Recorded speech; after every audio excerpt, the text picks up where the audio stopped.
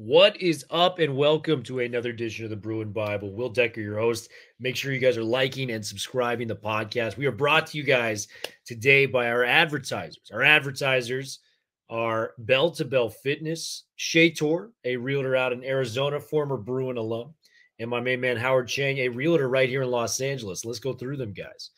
Uh, Bell to Bell Fitness is a boxing gym on the West Coast used by their FIT acronym, Fight Inspired Training.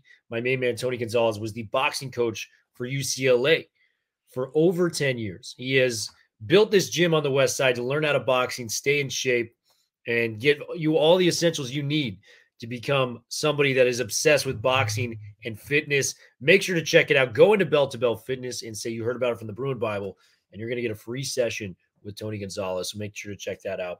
Shay Tor my main man. Shay Tor is a real uh, licensed real estate agent in Arizona and a lifelong Bruin. He's a current Wooden Athletic Fund donor and football season ticket holder.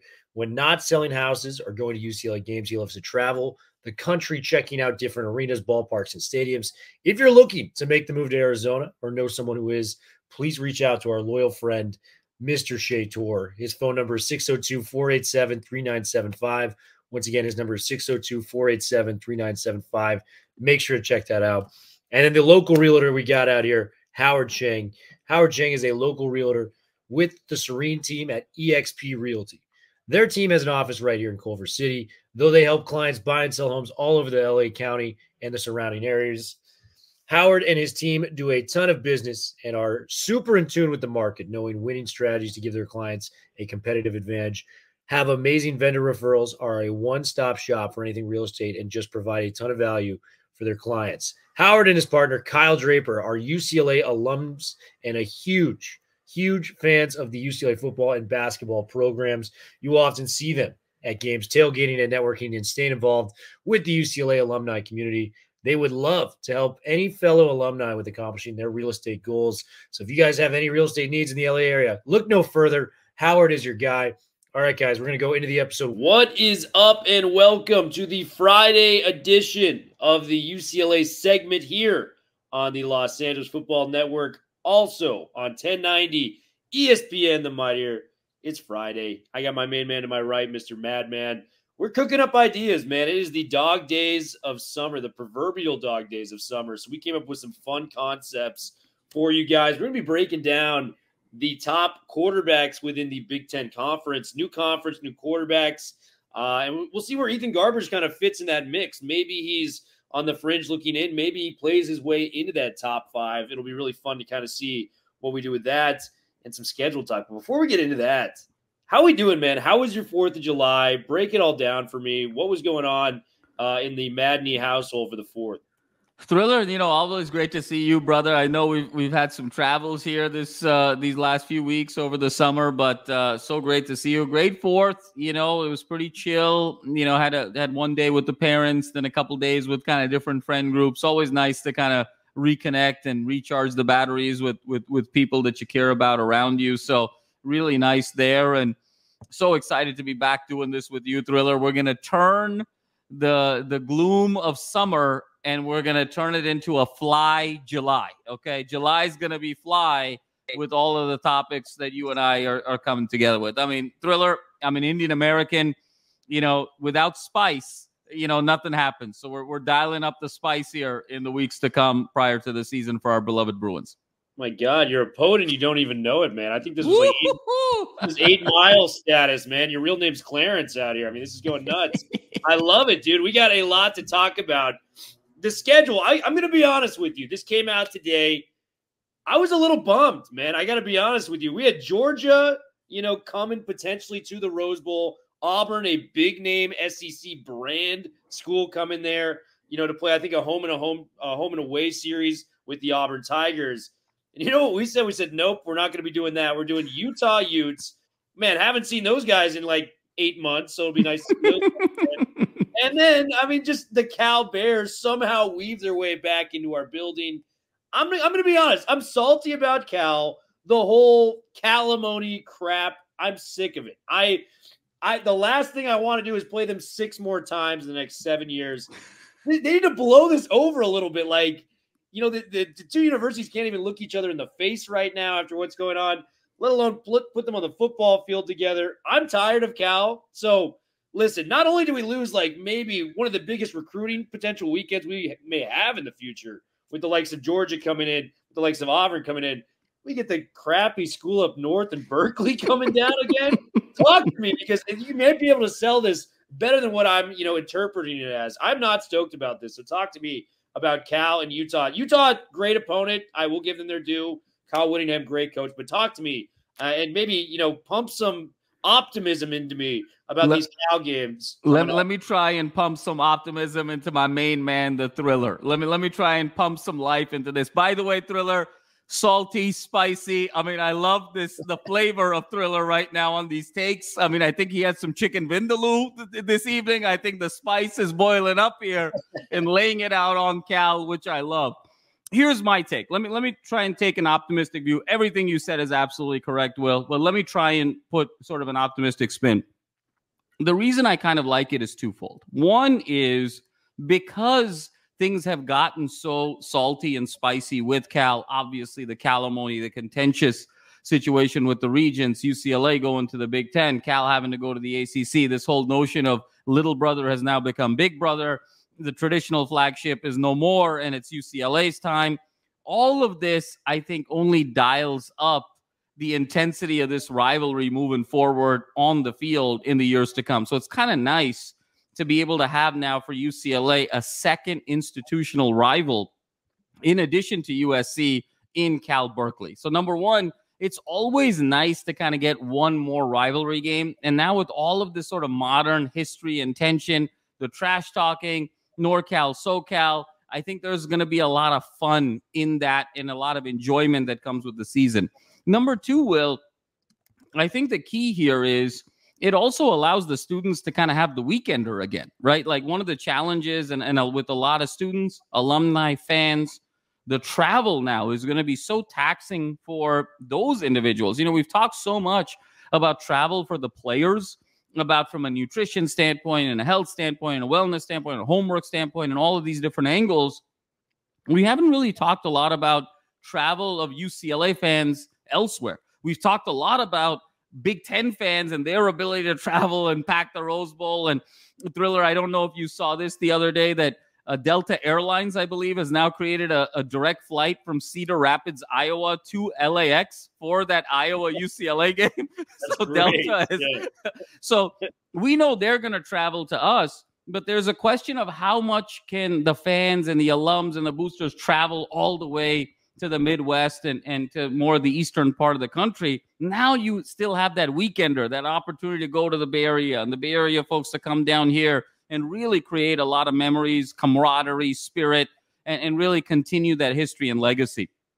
And then number three, Will, what I'll say is I think now where the sport is going, we got a 12 team playoff here in in the immediate future, but this is sort of extending now to a 14 team playoff there is no longer an incentive for a school like UCLA to pack the non conference as stacked as they need to, because now, given that they are in one of the two best conferences in the country, think about this, Will 14 team playoff, you're probably getting four bids from the SEC, maybe five. You're probably getting four bids from the Big Ten. Uh, that's nine of your 14. And then the other conferences and the at larges will fill out the other five. So all you really have to do now is to be able to finish top four in the Big Ten or position yourself in that at large from a rankings perspective to be able to do that. And so, what's the incentive of playing a Georgia? What's the incentive of playing an LSU and having that extra loss and going down in the rankings when you have sort of enough on your resume already in the conference and have the legitimacy with the Big Ten brand to then be able to make the playoffs? So, I'm with you, Will. I'm very disappointed because of these sort of traditional matchups. Would be great to see Georgia, Athens, Georgia, and go to you know sort of Death Valley, LSU, and all of that. But I think if you take a step back and say what's perhaps you know best for spirit, what's best for the fans, what's even best for UCLA in terms of positioning themselves now in a 14 team playoff world as opposed to a 14 playoff world, this makes a lot of sense. It does just because of the traditions and rivalries, but you know, I think to be the best, we, we've called ourselves a sleeping giant. I don't want to run from these games. You know what I mean? Like, this is Georgia. This is like your chance to really put a stamp on the college football world. Like, Deshaun Foster has been everything we've wanted, where he's like, no, UCLA is the spot. Like, we just need to get it back. If we're truly the spot, let's go play the Georgias. Like, playing those type of caliber opponents, and like, listen, we have the rough schedule of LSU, Penn State, Oregon. You know what's going to be great for our team in the long run is playing those games and figuring out how to win those games. So for me, I'm frustrated with it. The funniest thing about all of this, though, like what makes me laugh to no end was Cal. The initial argument is like, how are you guys going to go to the Big Ten? Like, it's so far away. He's going to have to fly out. They're going to the Atlantic Coast Conference. What is, what is going on? You're gonna have in conference games against the Miami Hurricanes. Like, what are we doing here, dude? Like, it is no, it is absurd. So it's amazing, Will, and and I think just look look with the passion and the intensity that you're speaking, and and the way that I'm speaking with so much passion. This rivalry with Cal, I would argue, is the highest that it's ever been. I mean, it, it's sort of paralleling USC at this point, just in terms of the recent history. If you look at the last two or three years and the feelings that we have towards Cal, I think it's very similar feelings to a USC of just everything we've had to sort of go through.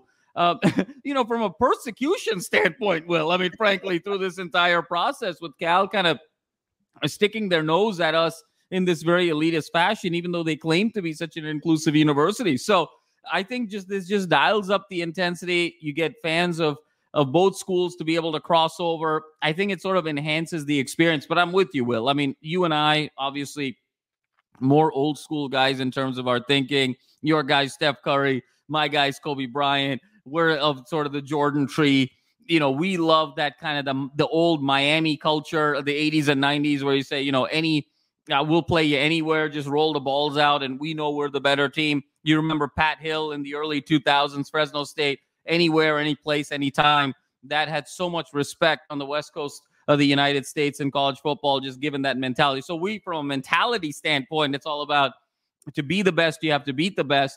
I think this is a little bit of a more rational approach that I think works, uh, but but something is lost. Now let's hope that in not being able to play Georgia and LSU in the non-conference, UCLA has positioned themselves in the regular season to be able to make the 14 team playoff and then perhaps see Georgia and LSU in the playoff in round one, in round two, and then ultimately you're you're not going to be able to run to a title without going through these giants. So you're just you know as as the saying goes, God doesn't deny; He's just delaying. He, we're just delaying. He's not denying. Hopefully, we're just sort of delaying and not denying the delicious matchups that we're going to have in the playoffs.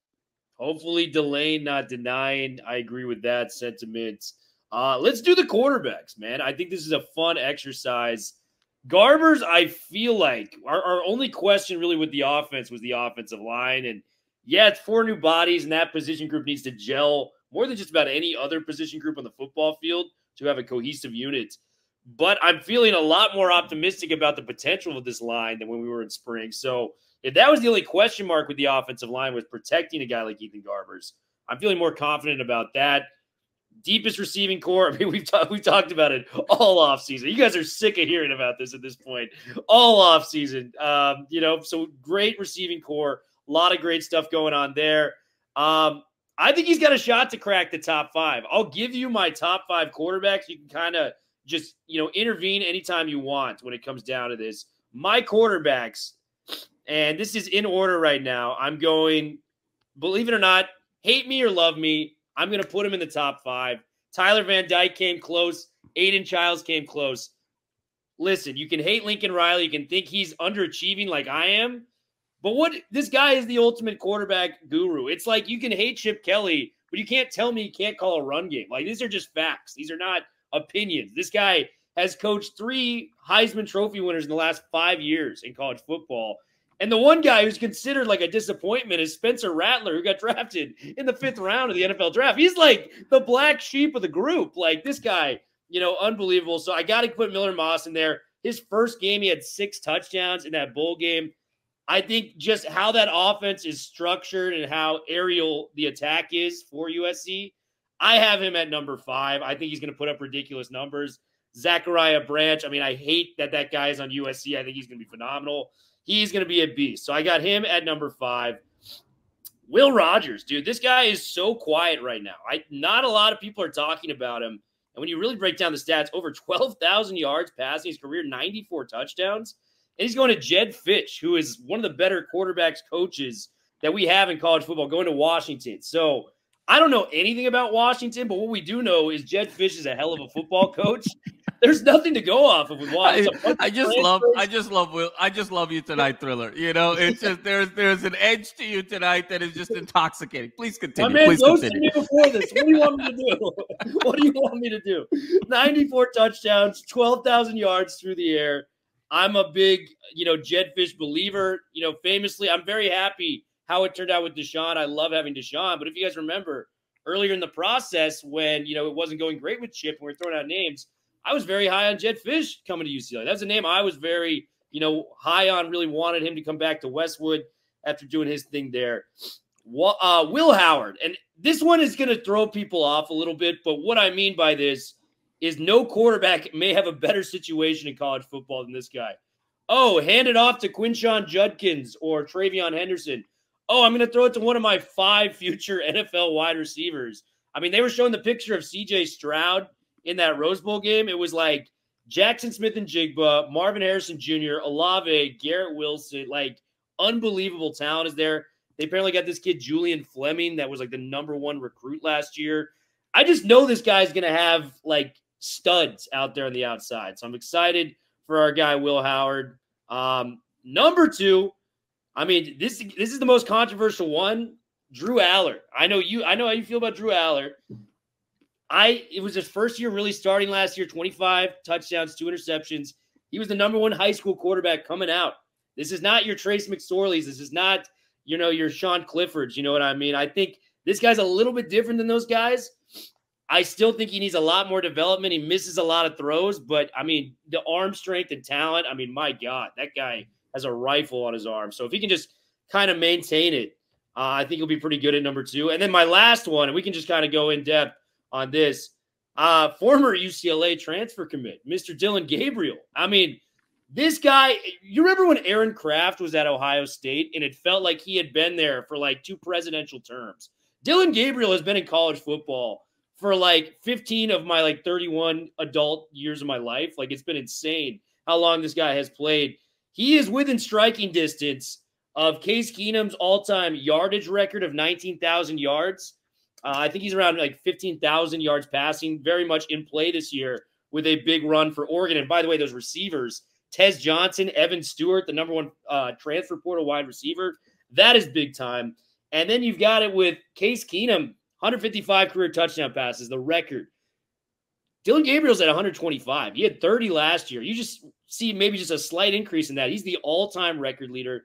You know what this guy is. I think he's one of the safest bets for Heisman, given what Oregon's going to be this year. If everything goes to plan with Dan Lanning and everything in co there, Dillon Gabriel, I just know what I'm getting. He's going to be a very solid quarterback. He's on his like third school. Could have been fourth if he ended up going to UCLA, but third at the time. I'm out of breath talking about these quarterbacks. Talk to me, man. What do you got with this quarterback? Get a sports drink thriller. Get some Gatorade. Get some electrolytes. You know, you know. Let's recharge the batteries. Yeah. I love it. I love it. Thriller. No, I'm I'm in uh, sort of violent agreement with you on a lot of these, um, and I think I'm going to sort of give the one caveat here. I'm, I'm going to sort of give my list from five to one, and then we can talk through it. It's actually very similar. I've got Drew. Uh, I've got Garbers, Ethan Garbers at five. Yeah, baby. and I've got Garbers at five. I've got Moss at four. I agree with you. I have Rogers at three.